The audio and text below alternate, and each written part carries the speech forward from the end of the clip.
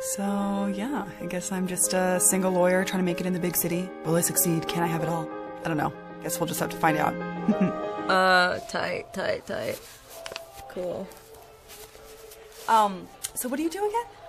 Uh, I don't really like to be tied down anywhere, you know. I don't even really look for gigs. I just hate formal job searches, you know. Let them come to me. It's more anarchist that way. Cool. Something wrong? nah, I'm just itching. Oh, my sister had that and it ended up being something with her shampoo. Oh, no, that never really happened for me. Sham.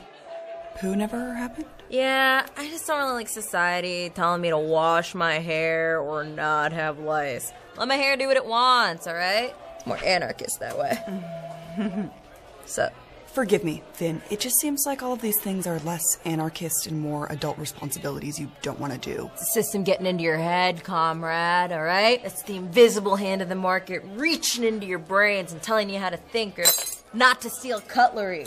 Why are you taking the cutlery? You should always steal. Otherwise, you're paying rent to corporate America. We own the source material, we own the labor, we're the people. Let's take back what's ours. I could actually use one of these. What source material? What do you own? How is buying something like paying rent? I wouldn't know, I don't do it. You don't pay rent. Rent is systemic noise, alright? And who can remember that first of the month stuff anyway? Rent is a standard part of adulthood. It sounds like you are just forgetting. How can I forget when I don't even check my mail? You don't check your mail. It's invisible labor. I don't